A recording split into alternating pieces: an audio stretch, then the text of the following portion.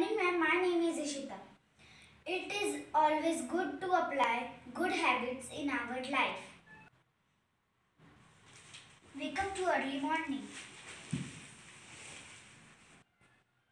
Fold your blanket.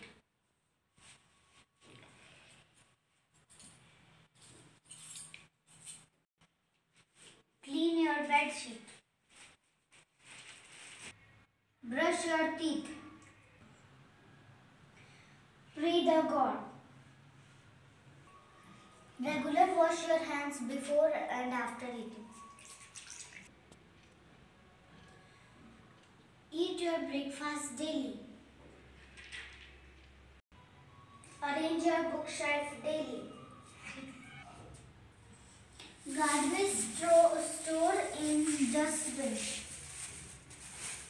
Respect your elders. Grandparents. Share uh, your food your brothers and sisters.